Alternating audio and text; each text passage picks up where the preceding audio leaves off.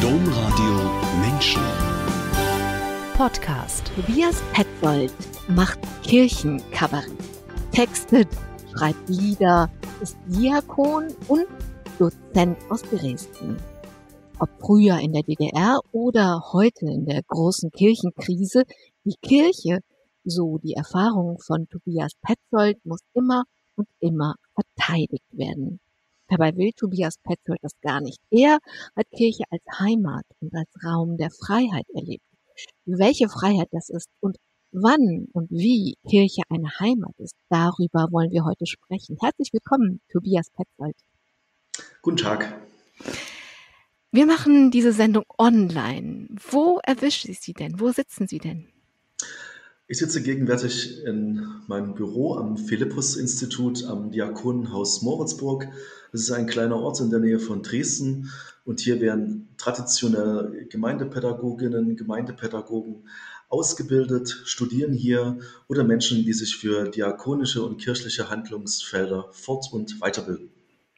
Herzlich willkommen, alle, die eingeschaltet haben. Am Mikrofon Angela Krumpen. Tobias Petzold. Anfangen würde ich bei dem vielen, was Sie machen, gerne mit dem Kirchenkabarettisten Tobias Petzold. Den gibt es schon lange. Auch die Kollegen und das zugehörige Kirchenkabarett Zwischenfall gibt es schon lange, genauer gesagt schon seit dem Studium. Zusammen mit zwei Kommilitonen hat es angefangen und wenn nicht gerade Corona ist, dann treten sie bis zu 30 Mal im Jahr mittlerweile zu viert auf. Dazugesellt hat sich noch eine Violinistin. Warum wollten Sie damals Kirchenkabarett machen? Zunächst ging es darum, miteinander musikalisch unterwegs zu sein und Lieder und Texte nach außen zu tragen von Dingen, die uns wichtig waren, wichtig geworden sind.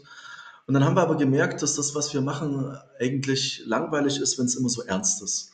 Und dass es gerade in der Kirche viele Phänomene gibt, die man auch gern mal aus den Augenwinkeln anschauen kann, mit Augenzwinkern anschauen kann und ein bisschen gegen den Strich bürsten kann. Und das versuchen wir und das macht Spaß und damit sind wir unterwegs. Sie sind in der DDR aufgewachsen und sozialisiert und Sie treten aber heute deutschlandweit auf. Und ich habe mich gefragt und ich habe Sie gefragt, ob die Menschen denn in Westdeutschland und in Ostdeutschland über dasselbe lachen können. Aber Sie sagen, West und Ost, das ist überhaupt nicht die entscheidende Kategorie, sondern evangelisch und katholisch. ja, diese Erfahrung ähm, haben wir tatsächlich schon gelegentlich gemacht, dass es ähm, gerade im katholischen Raum oftmals eine gewisse Kultur gibt, auch miteinander im pfarrgemeindlichen Umfeld auch zu lachen und die Mundwinkel auch gerne mal nach oben zu reißen. Also das ist eine Erfahrung, die ähm, ist schön zu wissen, dass es da auch Unterschiede gibt zwischen den Konfessionen. Ähm, Im Evangelischen sieht man ja vieles oft ein bisschen ganzheitlicher und da ähm, ist es auch manchmal so ein bisschen die Frage, welches Sinn hat das jetzt und sollte man ähm, laut lachen oder eher für sich?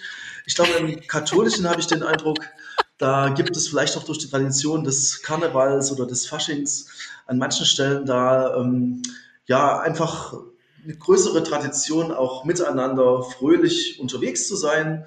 Und ähm, im nächsten Augenblick dann ähm, sind wir wieder ernst und erleben das Geheimnis des Glaubens.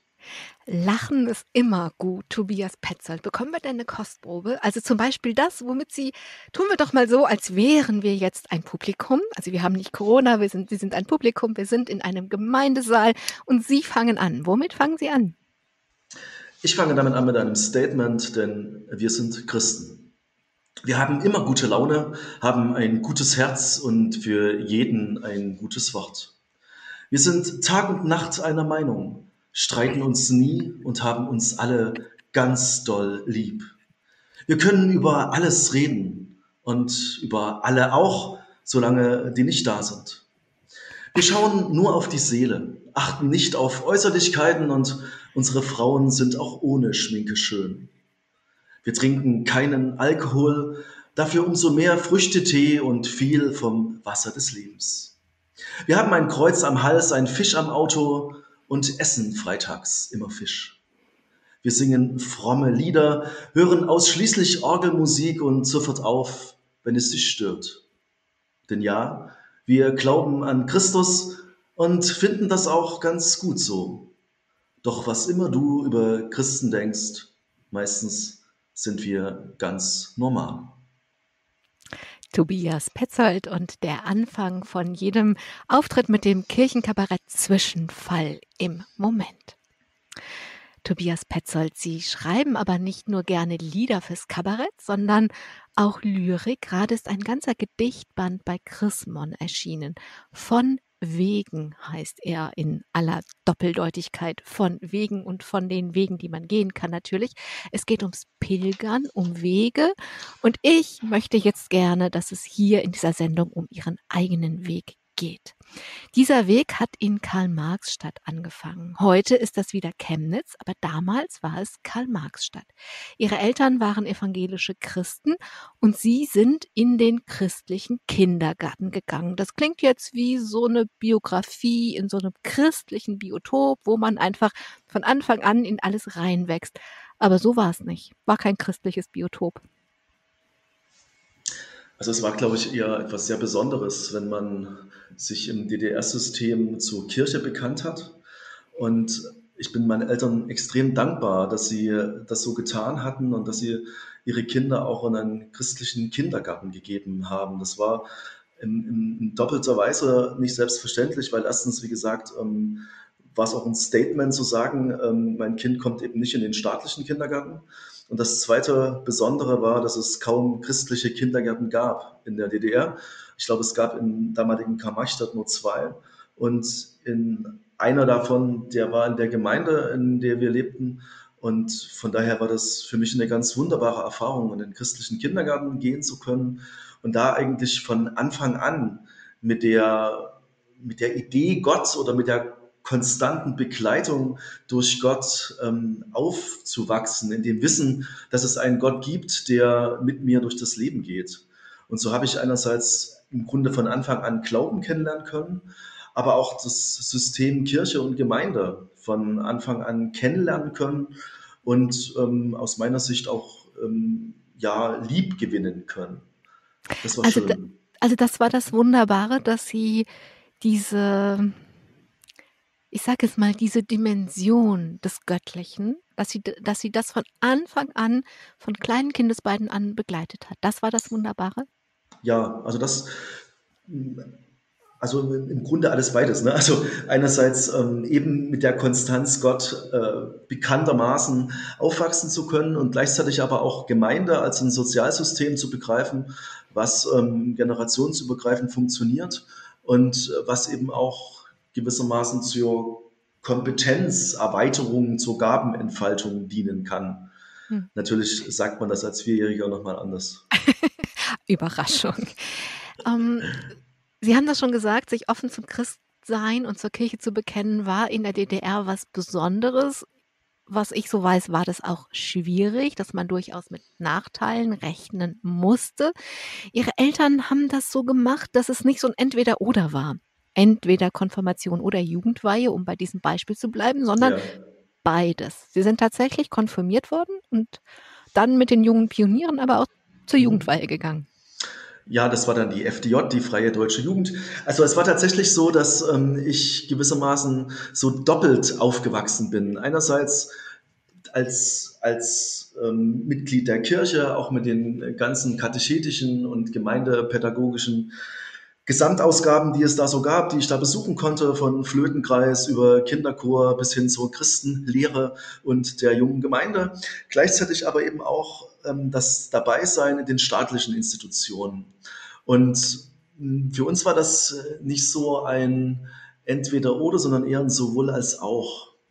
Und damit habe ich von Anfang an einerseits eine Beheimatung entdecken können, einerseits in Kirche, aber auch in der Gesellschaft, aber auch eine gewisse Grunddistanz zu wissen, okay, ähm, es gibt doch noch ein anderes Feld und das hat wiederum andere Bedeutsamkeiten und so.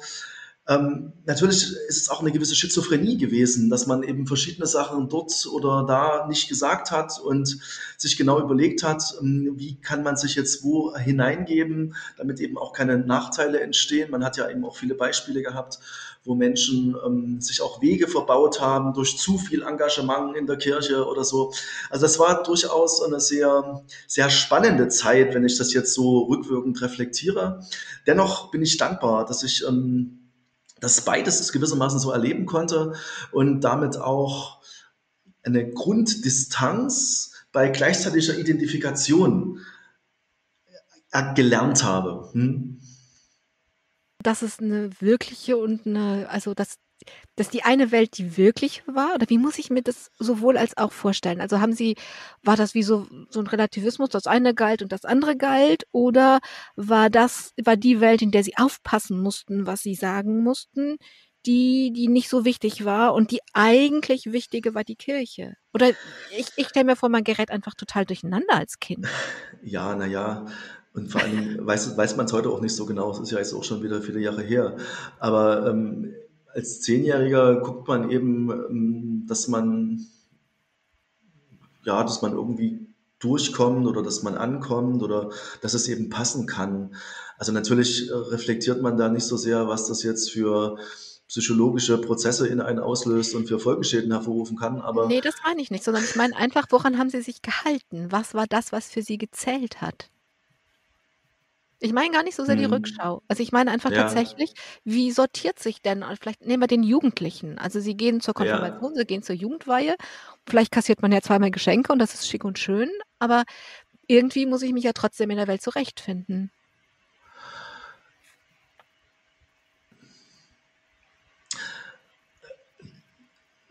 Die Zeit der Jugendweihe war dann, also war dann auch die Zeit, wo dann eben auch die Wende kam und wo dann gewissermaßen ein neues System in, entstanden ist oder neue Herausforderungen auf uns zukamen, dann Anfang der 90er Jahre.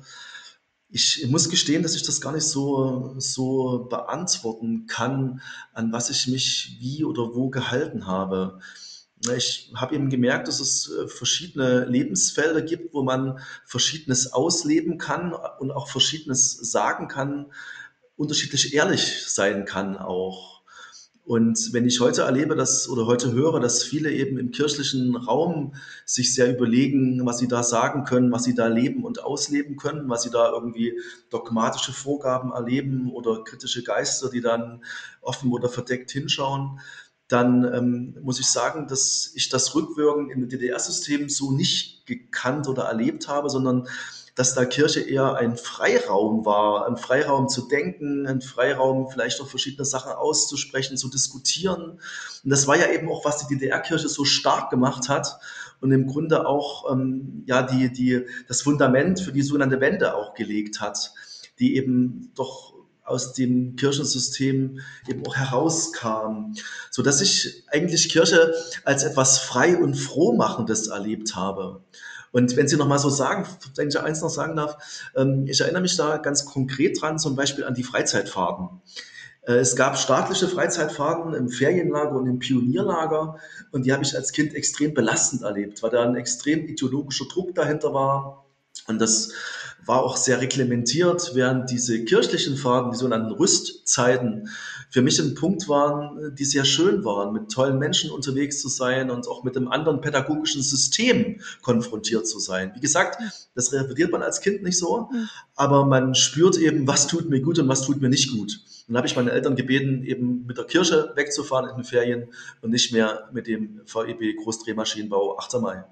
Aber das ist genau das, was ich eben meinte, dass man als mhm. Kind eben sich dann doch zurechtfindet, in dem sowohl als auch und das auch angenehmer ist als das sowohl, um das mal so zu sagen.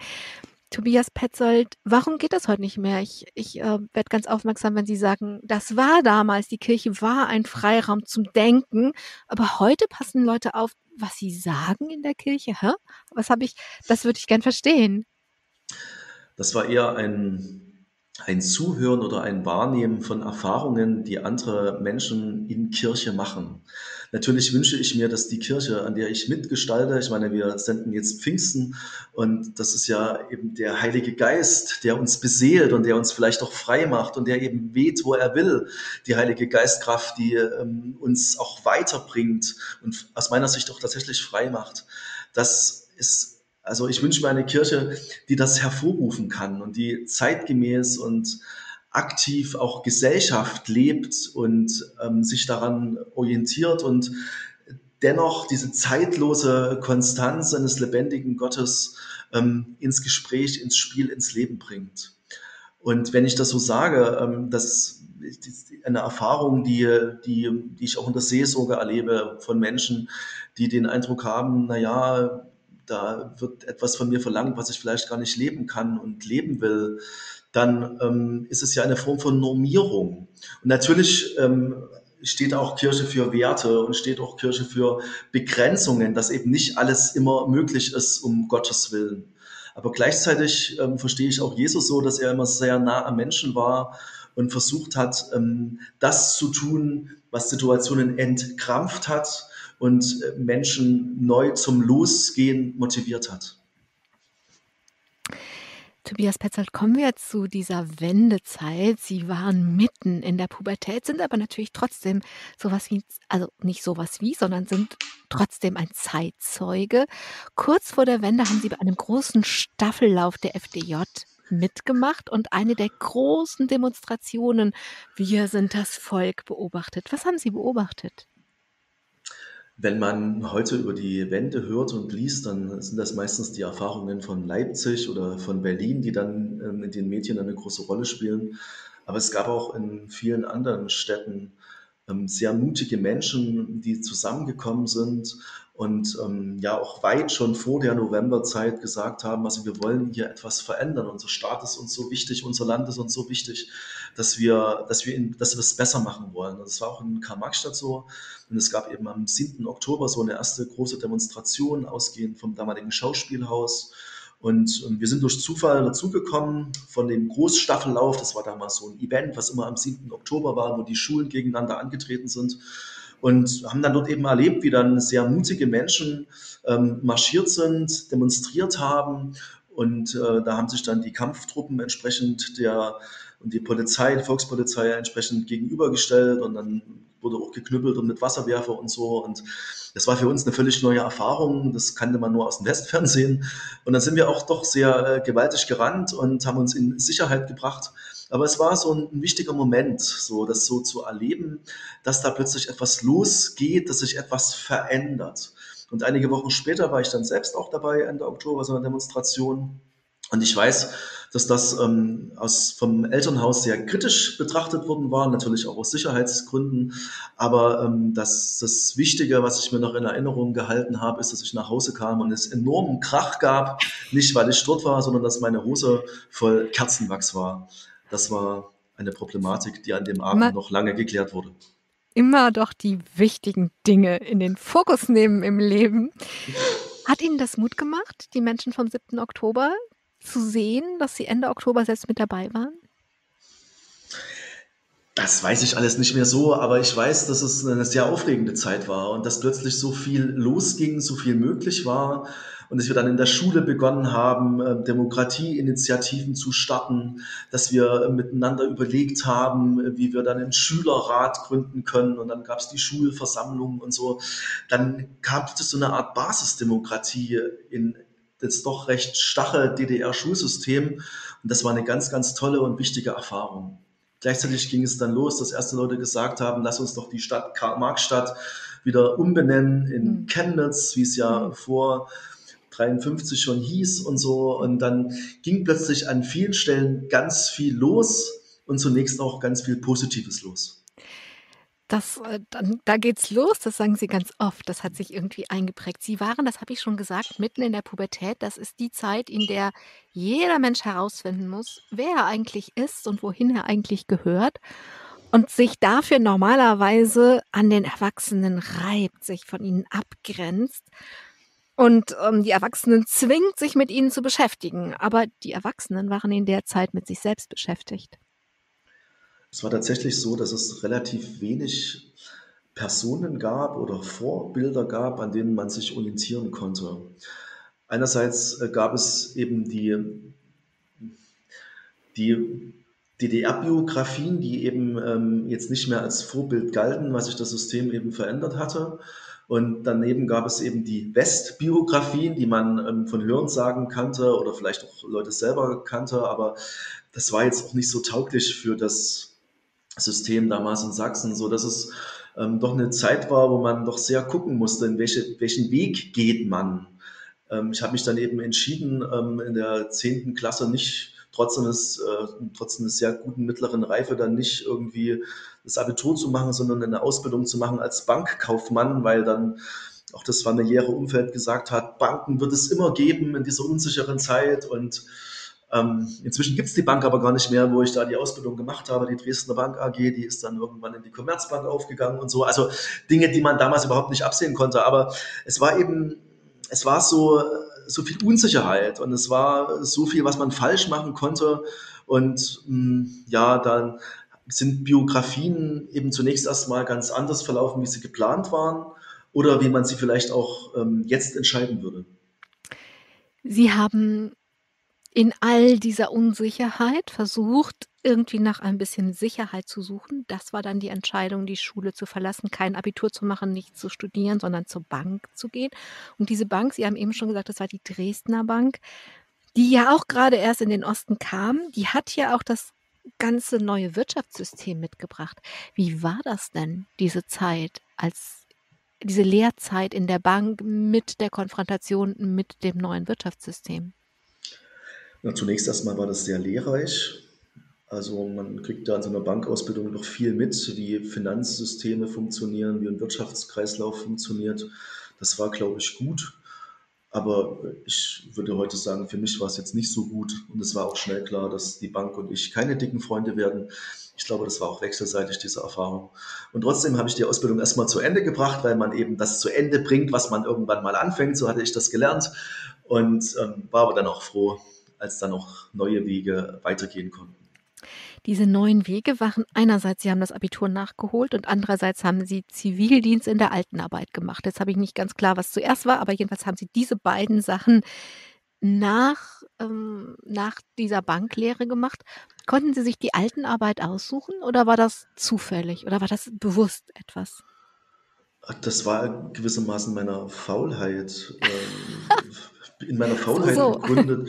Ich hatte irgendwie keine große Lust, lange Wege zurückzulegen und diese sogenannte Volkssolidarität, wie die Einrichtung hieß, die war bei mir um die Ecke und dann bin ich da eben mit dem Fahrrad hingefahren und habe da mit älteren Menschen in einer Seniorentagesstätte den Tag verbracht und das war sehr schön. Und das hat ja auch gemacht, dass Sie dann in Verbindung mit dem Abitur nochmal neu eine Ausbildung angefangen haben. Und sie haben sich, also der Journalismus hätte sie interessiert, aber das hat irgendwie nicht sollen sein. Und sie haben sich dann für eine Ausbildung zum Gemeindepädagogen entschieden. Ja, ich wollte dann gerne etwas studieren und habe dann halt überlegt, was, was so geht. Und ich hatte eben nur die Fachhochschulreife, das heißt, es gab kein Unistudium, was möglich war. Sonst hätte ich vermutlich Journalismus studiert, weil ich gerne geschrieben hatte und auch mit verschiedenen Zeitungen zusammengearbeitet hatte zu dieser Zeit.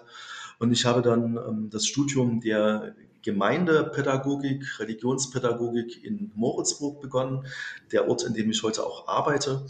Und da habe ich dann gemerkt, dass das viel mehr mein Weg ist, sowohl von den Menschen, mit denen ich dort unterwegs war, von den Mitstudierenden, von den Dozierenden, aber eben vor allen Dingen auch von den Inhalten.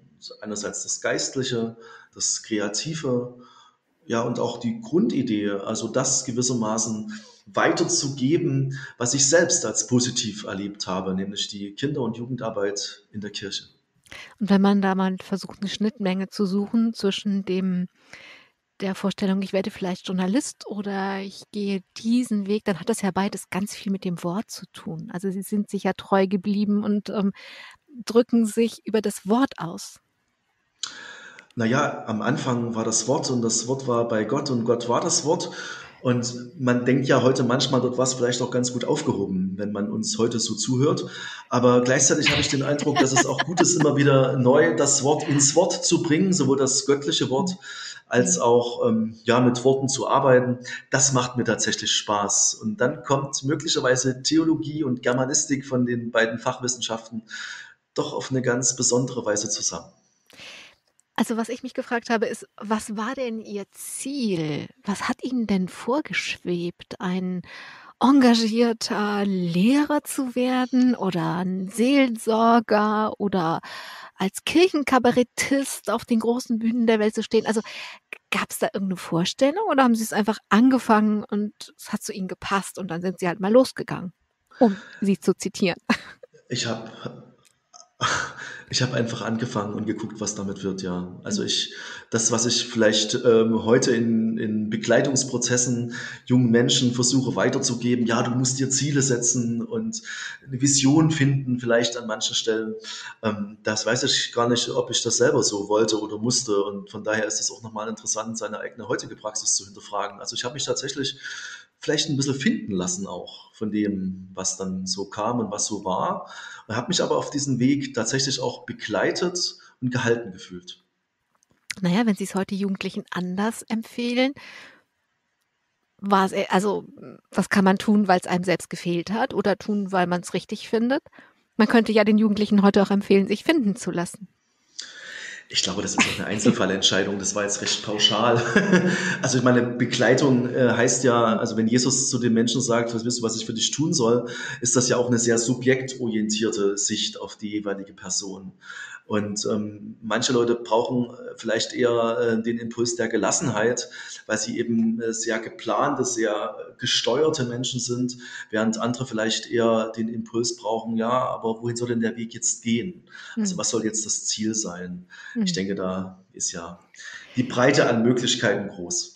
Wie haben Sie das denn erlebt? Also Sie wollten, Sie kamen oder aus einer Kindheit und einer Jugend, in der Sie Kirche als Freiraum erlebt haben und als unterstützend, wo Sie Rüstzeug bekommen haben. Und wie haben Sie dann dieses Studium erlebt? Genauso. Hm. Ich habe das, Studium auch als ähm, etwas, als eine Lebensschule vielleicht erlebt. Also wo, ähm, wo man, wo, wo wir Dinge aus der eigenen Biografie reflektiert haben, reflektieren konnten, wo es aber eben auch ähm, sehr, wirklich sehr gute theologisch-geistliche Impulse gab ja, und wo eben einfach auch tolle Menschen zusammenkamen in unseren Semestergruppen, wo wir miteinander eben auch viel gemacht, erlebt haben. Und ja, also dieses System in Moritzburg, das lebt ähm, sehr davon, dass Leben und Lernen auf einem Raum stattfinden, auf einem, auf einem gleichen Gelände. Wie so ein Campus? Glaube, ja, so, so ein Campus ähm, mhm. mit, mit mit gemeinsamen Wohnen, Studienwohnheim, Brüderhaus heißt das in Moritzburg und eben ähm, der Hochschule. Und das ähm, muss ich sagen, also Lebensschule trifft es da, glaube ich, am, am besten. Mhm. Tobias Petzold, zu diesem Studium gehörten dann auch Praktika. Und da haben Sie dann nicht entschieden, ich setze mich aufs Fahrrad und nehme das nächstbeste, was da um die Ecke kommt, sondern ganz im Gegenteil. Sie haben sich ganz bewusst entschieden, die Ränder auszuloten. Also Sie sind nach Berlin in die Drogenarbeit gegangen, einerseits und andererseits in eine kleine Gemeinde im Erzgebirge an der thüringischen Grenze. Fangen wir in Berlin an. Die Großstadt, Drogenarbeit, die ganz dunkle Seite der Stadt. Ja, aber das, das war tatsächlich, also in dem, in dem Studium gab es damals äh, zwei, zwei Praktikumssemester, ein Semester soziale Arbeit. Und ich hatte so ein bisschen die Idee, das äh, in der möglichen Radikalität zu erleben oder in einer, in einer besonderen, einer besonderen Herausforderung und bin dann in der Drogenarbeit in, in Berlin ähm, gewesen. Wir haben dort eben mit, mit, mit Junkies gearbeitet, auch mit Prostitutionssituationen, ähm, Menschen, die dann darüber ihr Geld verdienen, wiederum für ihre Drogenarbeit. Und das war, war eine sehr, eine sehr lehrreiche Zeit, eine sehr tiefe Zeit mit, mit, vielen, mit vielen tiefen Begleitungen, Gesprächen und mit tollen Kolleginnen und Kollegen, die die Arbeit dort mit großer Leidenschaft gemacht haben. Das hat mich sehr beeindruckt. Und dann gab es eben noch. eine, eine Sekunde dazu. Mhm. Konnten Sie denn in dieser Drogenszene oder auch bei den Menschen, die sich prostituierten, mit ihrem, mit ihrer Seelsorge kommen, mit dem Wort Gottes? Oder war das Sozialarbeit? Interessanterweise bin ich damit nicht gekommen, Mhm. sondern ähm, dadurch, dass ich irgendwie rumgesprochen hatte, dass ich jetzt ähm, Religionspädagogik studiere und eben nicht Sozialpädagogik, wie vielleicht ähm, andere Praktikantinnen und Praktikanten, ähm, kam sowohl von Mitarbeitenden als auch von den Klienten selber äh, gewissermaßen das Thema immer mal wieder auf. Und dann gab es tatsächlich auch Gespräche über Gott und die Welt im weitesten Sinn. Mhm. Und das fand ich sehr interessant, ja. Ich selber habe es aber, glaube ich, jetzt nicht so intensiv reingebracht. Dann kam also Szenenwechsel, und zwar kompletter Szenenwechsel. Das Erzgebirge, also nicht die große Stadt, sondern das Land mit kleinen Einheiten und auch noch an der Grenze, also ganz weit im Osten, stelle ich mir vor. Wie war es im Erzgebirge? Also eher im Südosten. Und das war auch nicht an der thüringischen, sondern an der tschechischen Grenze. Oh, Entschuldigung. Ah, Alles okay, gut, das ja. ist ja, Ja, doch sehr speziell. Tee, genau, Mhm. Tee wusste ich. Ach, okay. Ja, Ja, das war ähm, Neudorf, ein kleines Dorf, ein sehr schönes Dorf im Seematal, inzwischen bekannt durch seine Räucherkerzchen. Und das ist tatsächlich eine sehr, sehr, sehr, sehr lehrreiche Zeit gewesen, weil ich dort, ich sag mal, ähm, Glaube auch in einer gewissen Reihenform erleben konnte, mit Menschen, denen Glauben auch wirklich sehr wichtig war, denen die evangelische Kirche da eine wichtige Heimstätte war.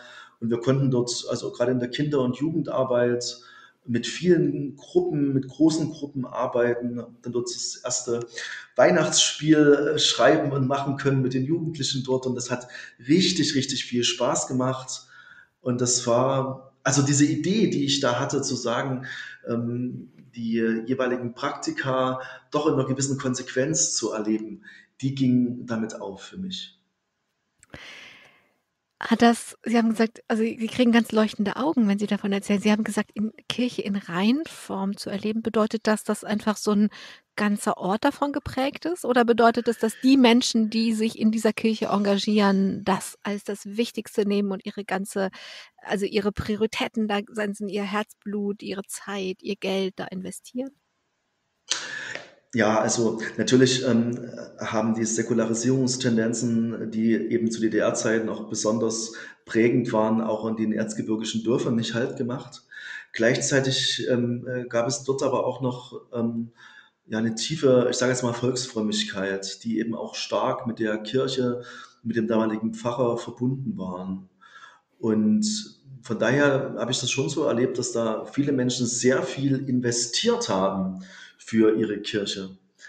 Tobias Petzold, nach dem Studium sind Sie erstmal an der altehrwürdigen Thomaskirche in Leipzig gelandet, an der zum Beispiel Johann Sebastian Bach lange gewirkt hat. Wie aufregend war das, an so einem historisch besonderen Ort zu sein? Es war insofern aufregend, dass es gar nicht so einfach war, dort äh, Kinder- und Jugendarbeit machen zu können. Ich habe ja gerade Die waren alle erzählt, bei den Thomanern. naja, das war, das, das war total schön, wenn auch die Thomaner im Kindergottesdienst waren oder Mhm. in den Jugendkreis kamen, dann waren da plötzlich 30 Leute mehr da. Das war wirklich schön. Aber gleichzeitig ist es aber auch kompliziert in so einer Kirche, die eben dauernd ähm, bespielt, vermarktet wird, da einfach mal einen Probetermin zu finden für einen Jugendgottesdienst oder für ein Krippenspiel. Das war wirklich herausfordernd. Hat aber Spaß gemacht, gleichzeitig eben auch so eine Innenstadtsituation wahrzunehmen, so eine prominenten Situation, eine prominente Kirche ähm, wahrzunehmen, die eben weit über die Stadt hinaus strahlt. Und ja, alles, was man eben tat, hatte eben auch eine gewisse Öffentlichkeitswirkung und brauchte auch einen gewissen Anspruch. Und wie haben Sie sich dem gestellt? Also wie haben Sie gesagt, okay, ich nehme diesen Anspruch wahr, aber hier bin ich, junger Religionspädagoge, ich mache das schon. Also es war sicher auch nicht frei von Reibungen, würde ich heute sagen. Gleichzeitig ging das eben mit großen Kompromissen. Und dann war eben eine Krippenspielprobe abends um 10 und dann Eieiei. waren eben dann die Eltern halb zwölf äh, abends dann vor der Kirche und haben mich beschimpft, warum ich ihre Konfirmanden so lange in Beschlag nehme. Und aus heutiger Sicht muss ich sagen, völlig zu Recht. Hätte ich als Mutter auch was gegen gehabt. Mon Dieu. Ja, also war das aber eine gute Zeit insgesamt? Es war eine gute und lehrreiche Zeit, ja. Hm. Und es war eine Zeit, wo ich auch parallel ähm, an vier oder fünf verschiedenen Schulen auch unterrichtet habe, Religionsunterricht gegeben habe. Und dann war das auch für mich immer schön, wenn dann so Leute aus dem Religionsunterricht auch in den Jugendkreis kamen oder wenn es da irgendwelche Verbindungen gab bei, bei Freizeitfahrten oder so. Das waren dann so auch so Sternstunden des, des gemeindepädagogischen Dienstalltags.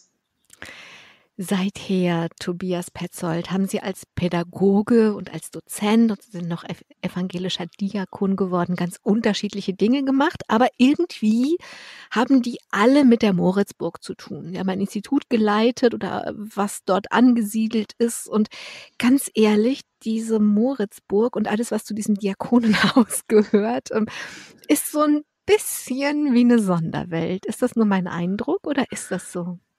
Das ist so, ja, das ist tatsächlich so. Und ja, man hat immer gesagt, das ist so eine fromme Insel und da mhm. fehlt es an Anregungsbreite für die Menschen, die sich hier bilden lassen und das ist so ein bisschen entrückt vor der Stadt. Und ich sage heute, und genau damit sollten wir werben. Hier fährt eine Dampflok vorbei jeden Tag. Hier fahren Pferdekutschen lang. Hier ist das Internet so schlecht, dass ich immer mal wieder nachsteuern muss. Also das ist äh, tatsächlich ähm, also äh, eine das Sonderwelt, jetzt, würde ich sagen. Hm? Aber diese Sonderwelt, die Sie jetzt gerade beschreiben, das klingt so, als wären Sie bei den Quäkern und würden irgendwie immer nur Tomaten zu Ketchup verarbeiten. Ähm, also es klingt so nach der alten, guten Welt, aber das ist es ja eigentlich nicht. Ich meinte mit Sonderwelt einfach nur, dass das alles so, ja, es greift so wie so ein Zahnrad ineinander und nichts davon kenne ich. Also. Ja. Gut, es ist sicher, sicher ein sehr binnenstrukturierer Begriff Moritzburg. Aber für die evangelische Szene, gerade in Ostdeutschland, ist es tatsächlich ein, ein wichtiger Ort, glaube ich. Also ich glaube, dass viele Menschen aus Kirche und Diakonie hier schon mal irgendwelche Bildungsereignisse erleben konnten. Und es ist vor allen Dingen ein Ort auch der Besinnung und des Rückzugs. Und damit, finde ich, sind wir ziemlich aktuell.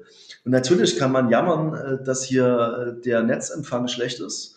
Man kann aber auch sagen, okay, das ist vielleicht auch ein Alleinstellungsmerkmal, wenn man sich mal zurückziehen will, dass man eben vielleicht wirklich auf einer frommen Insel in einem guten Sinn ist, wo mhm. man auftanken kann, wo man sich besinnen kann und wo man auch, ja, vielleicht neuen Sinn entdeckt.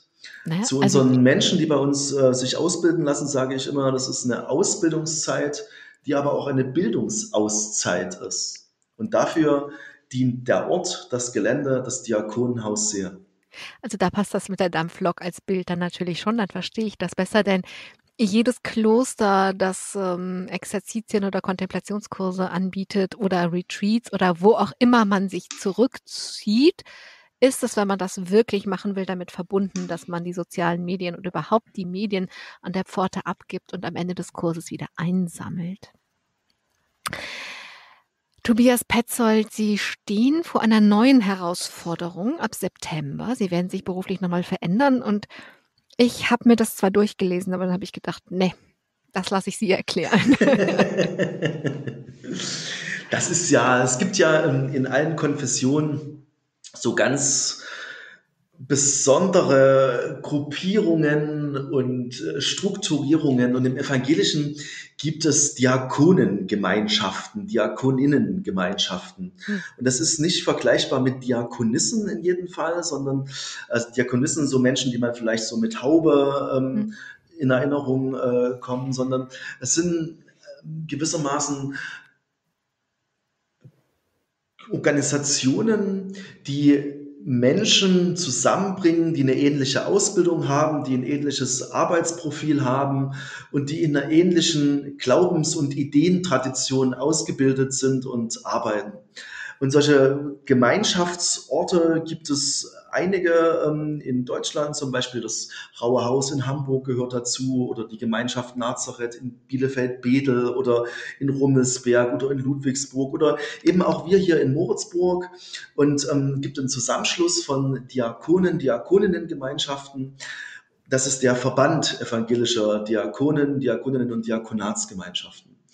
Und dieser Verband hat einen Vorstand und der Vorstand setzt einen Geschäftsführer ein, ähm, der verantwortlich ist, die Interessen der Gemeinschaften zu bündeln, das Berufsbild des Diakons, der Diakonen zu profilieren und gegenüber Diakonie und evangelischer Kirche auch zu vertreten. Und diesen Dienst werde ich ab September übernehmen. Wenn Sie das abgrenzen zwischen Diakoninnengemeinschaften und Diakonissen, dann stelle ich mir das so vor, wie das eine sind eher, ist eher ein Ordensleben, das andere ist eher so ein Leben in Kommunitäten, Mhm. was auch ein Stück Verbindlichkeit hat, aber eben nicht so radikal ist wie ein Ordensleben. Sowas? Ja, sogar noch ein bisschen abgeschwächter. Also man lebt auch jetzt nicht unbedingt in Kommunitäten zusammen, sondern fühlt sich eher ideell verbunden. Ja, Aber also man, man schafft einen, einen Bezugspunkt und schafft das, mhm. was Sie selber ja in Kirche so wohltuend erlebt haben, sowas wie Heimat. Wenigstens ja, geistliche Heimat. ja, ja, tatsächlich.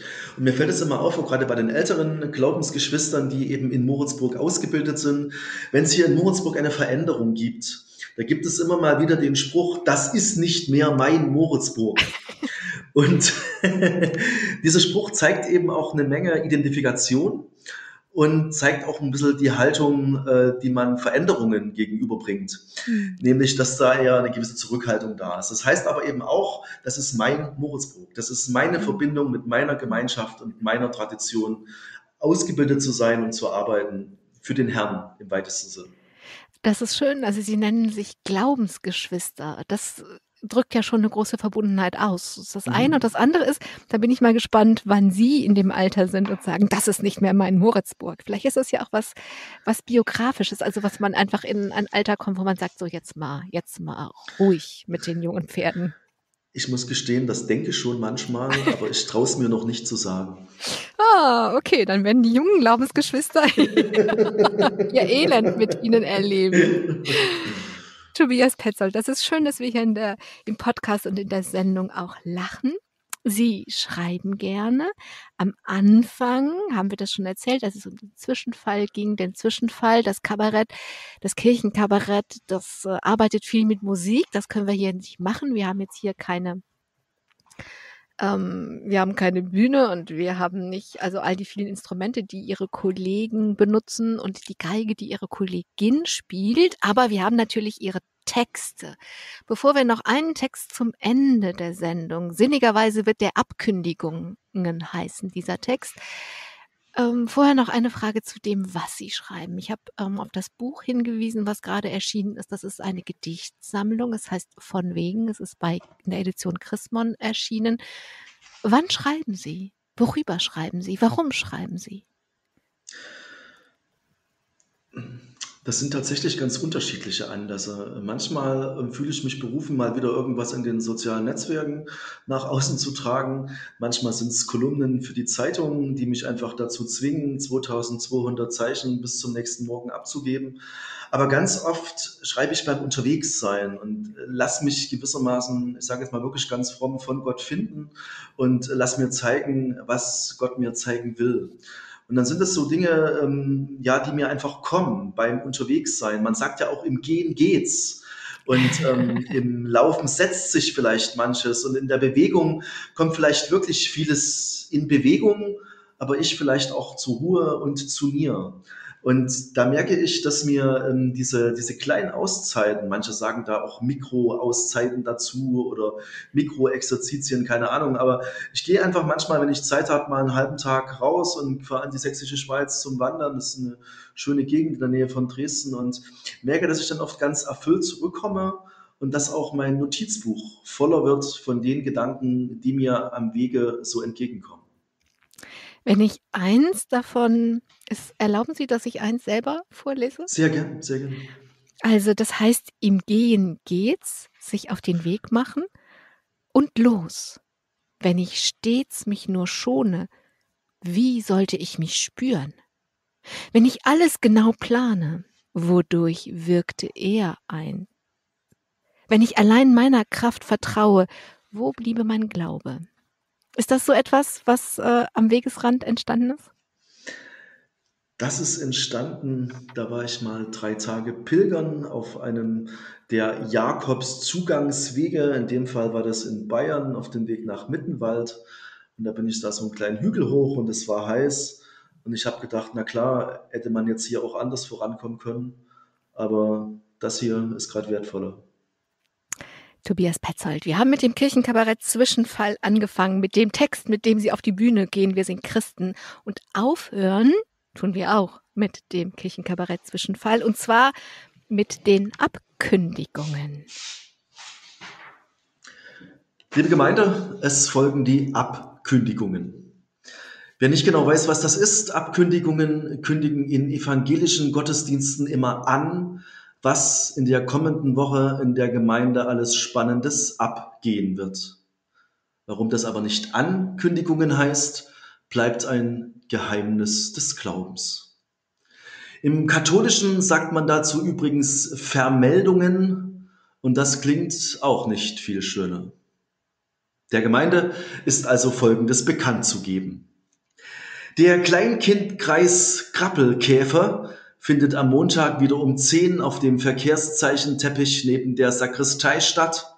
Die Kirche müsste vom Sonntag noch warm sein. Der Frauenkreis unter uns trifft sich am Dienstag um 7 im Raum Lila und der Eine Weltkreis kommt zur gewohnten Zeit am Pfandautomat zusammen. Der Posaunenchor auf Brass sucht am Mittwoch wieder Mitspieler innen. Er beginnt um 19.30 Uhr im großen Gemeindesaal. Parallel findet im kleinen Saal der Meditationskreis Balanceakt statt. Wir bitten um gegenseitige Rücksichtnahme. Der Inklusionskreis Dreifalt in Vielfalt trifft sich am Donnerstag wieder zum Mandala-Malen mit Musik. Stifte bitte selbst mitbringen. Und das Kochkollektiv Krisenherd kocht am Freitag wieder sein eigenes Süppchen in der Gemeindeküche. Am Samstag kommt um 19 Uhr der Männergesprächskreis Wortkarg zusammen, diesmal mit dem Thema die Kraft des Schweigens. Zu Gast ist Diakon Schreier. Der nächste Gottesdienst im Kirchspiel findet am Sonntag wieder um 8.15 Uhr in der Kreisstadt statt. Die Fußgruppe trifft sich dann halb sechs bei uns am Pfarrhaus. Zwei Dinge will ich Ihnen noch anempfehlen. Als besonderen Leckerbissen wird uns in der kommenden Woche Pfarrer I.R. Sperling unter dem Thema So singt's und klingt's bei uns im Wald Dias von einheimischen Singvögeln zeigen. Und wenn gesagt wird, dass in einer Kirche jemand Dias zeigt, heißt das, dass dort tatsächlich Dias gezeigt werden, die Älteren werden sich an dieses Medium erinnern. Alles und immer ist da im Rahmen. Eine Abkündigung aber gibt es tatsächlich, denn der angekündigte Geistabend mit Geistheiler Stefan Schmidt-Schulze unter dem Titel Schnupfenvorsorge durch Quantenpodologie muss leider entfallen. Herr Schmidt-Schulze ist erkältet. Tobias Petzold war das vom Kirchenkabarett Zwischenfall mit der Nummer Abkündigung.